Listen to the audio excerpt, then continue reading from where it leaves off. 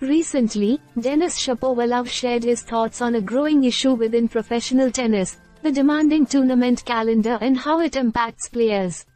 Speaking candidly, Shapovalov expressed his belief that players would be more inclined to cope with the grueling schedule if they were compensated better.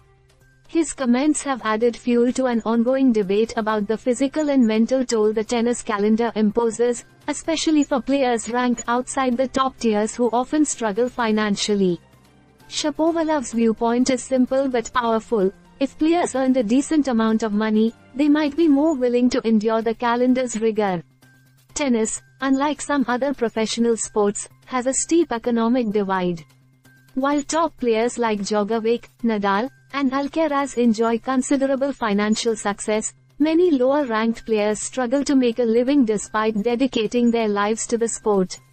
The Canadian player highlighted this imbalance, questioning how sustainable it is for the majority of professionals who grind through the season with less financial security. His remarks resonate beyond just the financial aspect, they point to the broader issue of player welfare. The tennis calendar is relentless, with back-to-back tournaments and little time for recovery.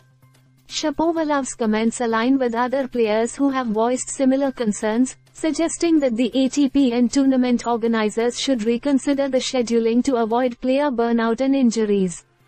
This conversation around the tennis calendar isn't new, but Shapovalov's comments add weight to the argument that reforms are necessary. In a sport where peak performance is everything, providing a better support system, both financially and structurally, could be key to maintaining the health and longevity of athletes. The tennis world will need to consider how it can better balance the physical demands on players with fairer compensation across all levels. Stay subscribed for more videos.